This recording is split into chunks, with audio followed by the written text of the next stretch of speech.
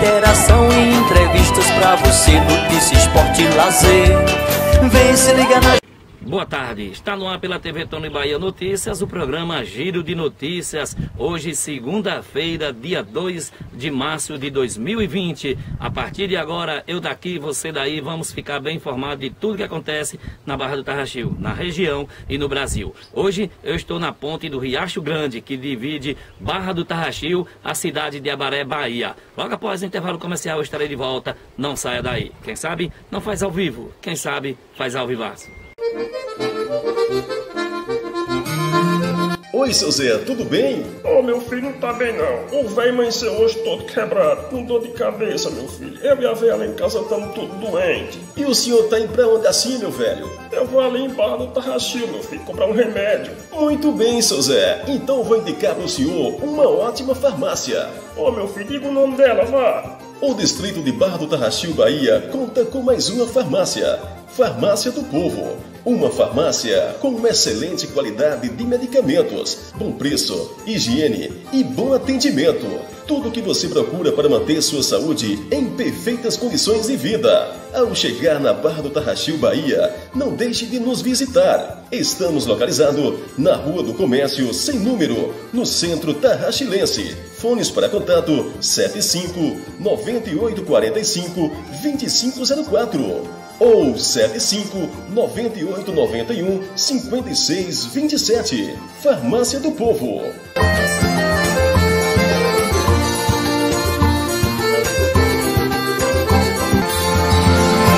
Estou de volta aqui na TV Tony Bahia Notícias. Obrigado a você, Tailane, a filha da Edjane, ali na cidade de São Paulo. Muito obrigado a você. Vamos com as primeiras informações de hoje. Eu vou girando pela Bahia em nome da Atel Telecom. Programa Giro de Notícias.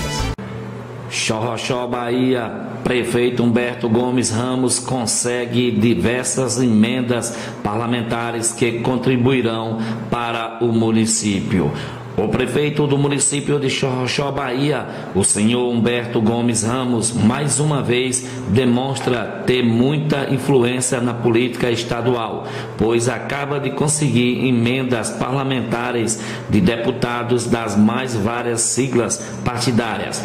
As emendas que serão destinadas principalmente para o custeio da saúde são fruto do bom trânsito e do prestígio pessoal que o, o prefeito Humberto Gomes Ramos conquistou ao lado de sua vida pública. Segundo Humberto Gomes Ramos, os valores advindos dessas emendas em muito ajudarão a gestão a continuar dando aos chorrochoenses a esperança de dias melhores para todos. Programa Giro de Notícias. Chorrochó Bahia foi dado início à recuperação asfáltica que liga a cidade de Xorroxó.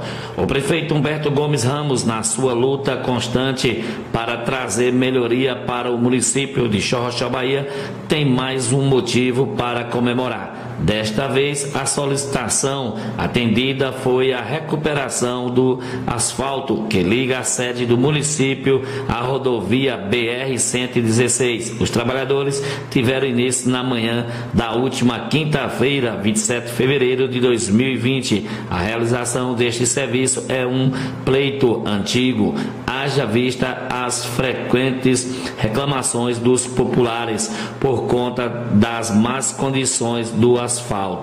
Humberto Gomes Ramos, sempre atento aos clamores de seu povo, não mediu esforços em reunir seu grupo político para solucionar o problema, cobrando o intervenção do atuante deputado estadual Zó, que de pronto atendeu nosso pedido e em audiência com o governador entregou-lhe o ofício orçaminhado pelo prefeito Humberto Gomes Ramos, cujo cópia anexada no blog Tony Bahia Notícias. Programa Giro de Notícias.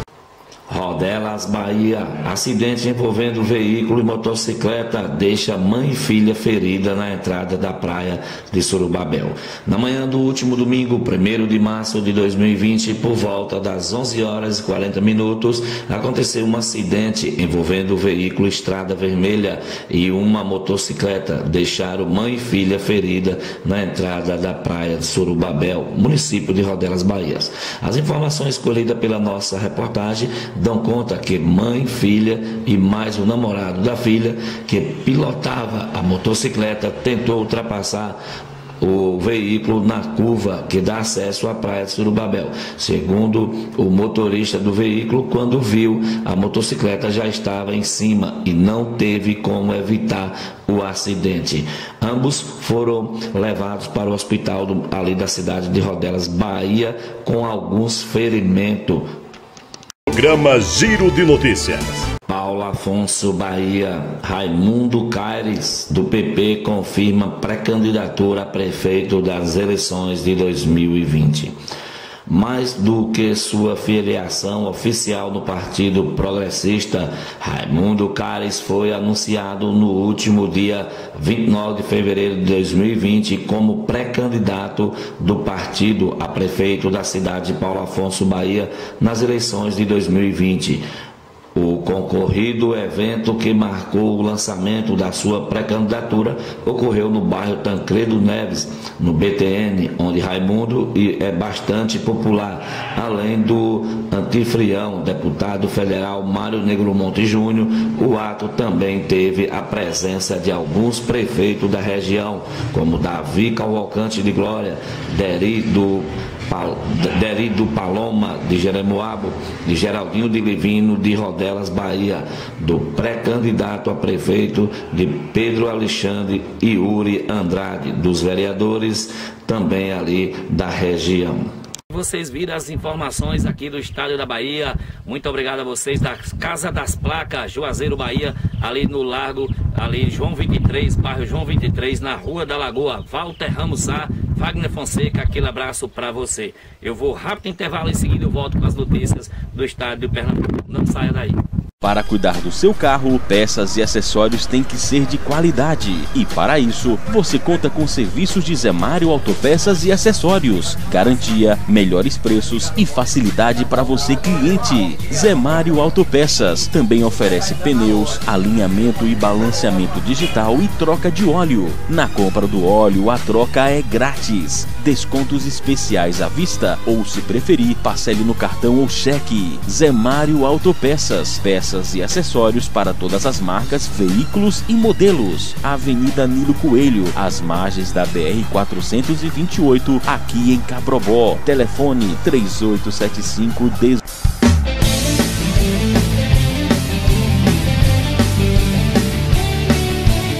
Voltando aqui à TV Tony Bahia, notícias. Estou aqui na ponte que, do Riacho Grande, que liga o distrito da Barra do Tarraxil à cidade de Abaré, Bahia. Muito obrigado do Peixe Casa das Cordas, na cidade de Cabrobó, Pernambuco. Obrigado a vocês de Macururé, Sansaité, Rodela, Xorroxó, toda a região baiana, pernambucana, sergipana, alagoana. Vamos agora com as informações de Pernambuco, em nome da Tel Telecom.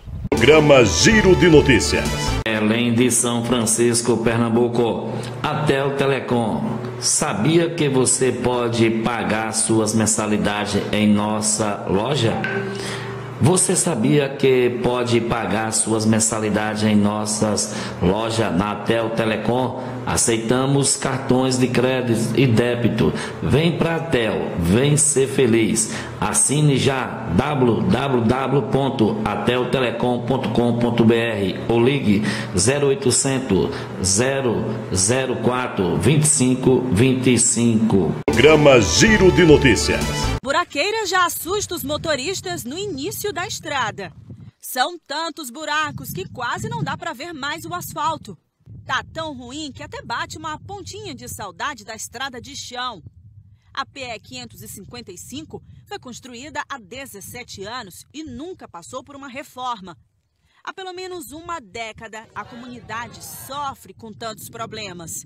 A gente quer uma medida emergencial e, e rápida, porque a gente já pediu, já solicitou ofício, já fez baixa assinada e até agora nada, né? Acho que o governador está levando o caso em brincadeira. E a gente já fez várias solicitações. Essa estrada tem mais de 10 anos nessa mesma situação e nada foi resolvido. A rodovia liga o povoado de Urimamã ao projeto Fulgêncio, a área de produção de frutas em Santa Maria da Boa Vista. São 43 quilômetros em péssimas condições. Pequenos produtores, como seu José Nunes, amargam prejuízos na hora de escoar a mercadoria. Quebra moto, quebra carro e por conta que o pessoal não estão vindo pegar a mercadoria da gente por conta das estradas. Tem que baratear o produto. Tem que baratear o produto, tem que vender aí do jeito que Deus quer. E ainda tem os assaltos. Segundo os moradores, os buracos facilitam a ação dos criminosos. Seu José foi vítima duas vezes, só no ano passado. Eles agem de forma bem discreta, ficam na beira da estrada, aí na hora que a gente se aproxima, eles pulam no meio da estrada, sacam as suas armas e toma tudo que a gente tem. Até o capacete, um celular, um relógio, 10 reais, 100 que vinha no bolso, eles levam. A buraqueira também vem afetando a educação das crianças e jovens da região. Cerca de 130 alunos passam todos os dias pela estrada. Nós acompanhamos parte do trajeto e vimos o perrengue que eles vivem diariamente para chegar na escola. São muitos transtornos que nós enfrentamos durante o dia, o dia a dia. Né, nós preparamos umas aulas para atender uma demanda, né, 30 alunos, exemplo, e não vem os 30 alunos devido à estrada, não dá acesso suficiente, os transportes quebram, é, aulas atrasadas e dá um transtorno horrível. O GR1 vem acompanhando essa situação desde outubro de 2017. O repórter Paulo Ricardo Sobral já esteve duas vezes no local para mostrar a insatisfação da comunidade. Nada mudou de lá para cá. Pelo contrário, a quantidade de buracos só aumenta a PE 550 também não tem acostamento nem sinalização. E quando o motorista se aproxima do projeto Fulgêncio, corre o risco de cair nessa mini cratera. Para você ter uma noção exata da dimensão do problema, eu decidi me arriscar e entrei no buraco.